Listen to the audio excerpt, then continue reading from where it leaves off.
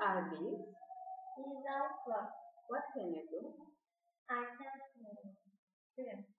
Where do you live? I live in house. Where is the store? Store is next secretary. What does she want?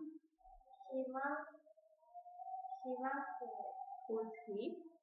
He is the punch. What do you do every day? I do go to bed. Do you read email every evening? No, I don't. What are they doing? Um, they, um, they, uh, riding bicycle. What are they doing? They are riding bicycle. Uh-huh. What do you do on Friday? I do homework.